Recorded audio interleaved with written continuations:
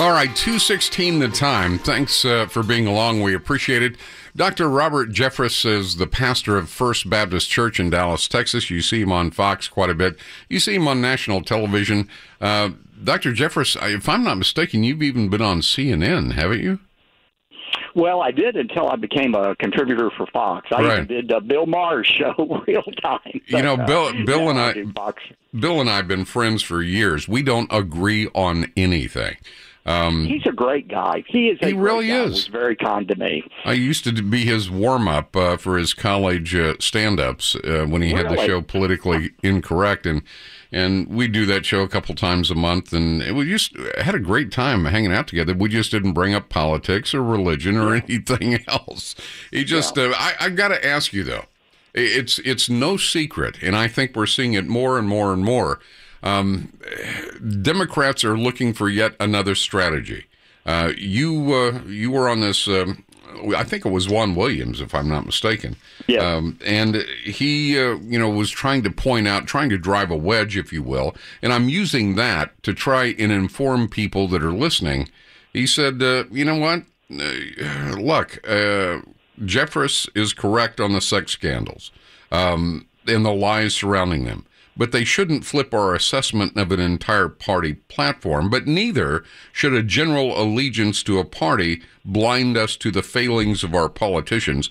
And of course, he's talking about the, you know, the porn star. Such things used to matter to Republicans and evangelicals. Well, they still do. They're just being used by Democrats uh, to try and shame, as you said, evangelicals into thinking they're being hypocrites if they vote for somebody that can, uh, you know, they can spend uh, what they bring in, they can do good legislation. I don't know about his his spiritual life. I, you know, I would hope it's a good one, but that's not what I'm looking to him for. If you were advising evangelical voters, what would you say to them, Dr. Jeffress? Well, let's cut let's cut through the malarkey here and remind ourselves that in 2016 we had a binary choice between Hillary Clinton and Donald Trump. And even though Democrats want to now try to paint her as St. Hillary of Chappaqua, she was hardly a bastion of morality herself. I mean, look, Democrats claim to be pro women, against sexual assault of women and, and harassment of women, and yet they support a woman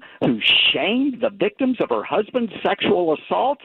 I mean, isn't that hypocritical? Now, I'm going to be more charitable and Christian than the Democrats. I don't believe Democrats who voted for Hillary Clinton were supporting the abuse of women. Uh, I think they were supporting Hillary's policies, not her personal behavior.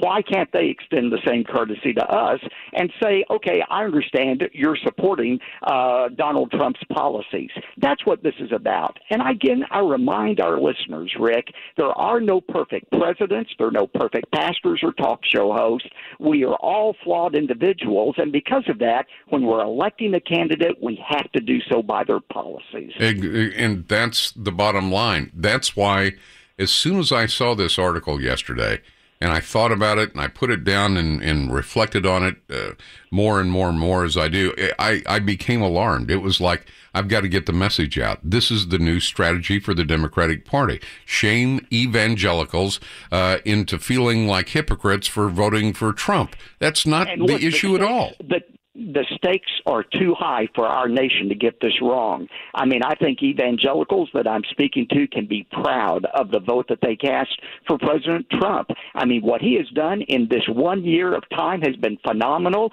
He has put more federal judges on the court, twice as many as Obama. All of them are conservative judges.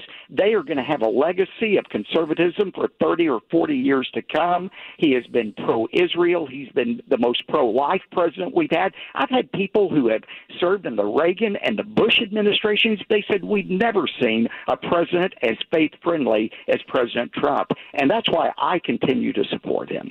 Uh, final question, Dr. Jeffress. I, again, I thank you for coming on with uh, such short notice.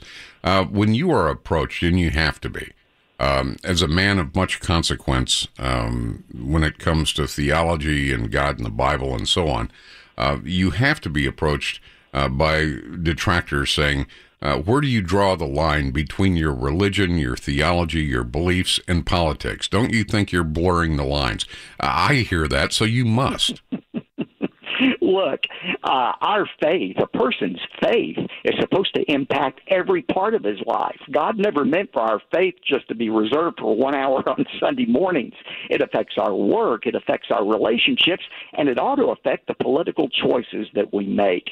And uh, that's that's the Christian faith. It's not a Sunday only, one hour a week belief system. If our faith doesn't inform our politics, what is going to inform our politics? Uh, good, good point. Uh, final question. I lied. Uh, maybe a word on the passing of Billy Graham. Yes, you know, interestingly, uh, Rick Billy was a member of our church, First Baptist Dallas, for 54 years. He oh, joined wow. in 1953. He was a member of our church until he joined a smaller church closer to his home a few years ago. So we were honored to know him. I had the opportunity to achieve uh, to attend his uh, funeral service a couple of weeks ago. He did more to share the message of Christ with the world than anyone since the Apostle Paul. So we're going to miss him. Dr. Robert Jeffress, uh, he's the pastor of First Baptist Church in Dallas, Texas. It's always a pleasure, sir, to talk with you, and uh, thank you for your time. Thanks so much for having me, Rick. All right. Well, uh, we're going to step aside here in just a little bit. Uh, that's the new strategy. You know, the Russia collusion is over. All right. And really, what did we find? What did we find in this year long uh, taxpayer expense? Uh, looking for ghosts under the bed. What did, what did we find? Was there Russian collusion with Trump campaign? No, not one shred of evidence. You know, it's sort of like I, I get the feeling, and it's nothing against city workers, but uh, I hate those moving or whatever they're called road crews. You know, where they have the arrows. Uh, there's usually two or three of them, and instead of instead of staggering out where traffic can, you know, kind of okay, well, I got to get over. They, they're right together. Well, what good does that do? Um, anyway, you pass them, there's like three guys leaning on shovels. Well, there's your tax dollar at work for you. Um, how much money did they spend on this Russia investigation? Not one shred of evidence about collusion other than Clinton. Clinton buying dirt to use on Trump and she still lost, so it's kind of a moot point. Um, and of course, you've got Maxine Waters uh, screaming at the top of her lungs, "We'll never accept it." I didn't expect you to. You know, I, uh, Democrats coming out of the woodwork. Well, there's got to be something there. I, you know what? There isn't. Move on. If you can't, then sit there in your own little pity pool and do whatever it is you're going to do. But the the Russia investigation is over. No collusion, not one shred of evidence about collusion was found other than the Clinton campaign trying to buy dirt from the Russians to use on Trump. And you know what? Nobody's even surprised about that. Oh, oh yeah, that's what Clinton does. Nobody's even surprised about that. All right. But the new strategy, if you believe in God, if you're if you consider yourself an evangelical, have you noticed how the left-leaning media is trying to paint that word evangelical as uh, something less than normal? You're not normal. You're different. You believe in God. You believe in Jesus. You believe well the Holy Spirit. Well, you got to be crazy. The, have you have you seen that? It's a whole direction. It's a strategy. And if you really believe, didn't didn't God say, "Thou shalt not commit adultery"? Didn't it? Well, what about Trump? I, I, I don't know. If he did it, he did it. He's not my pastor. He's not my spiritual advisor. Uh, you know, in times of trouble, you know, I don't pray to Trump. I pray to my God.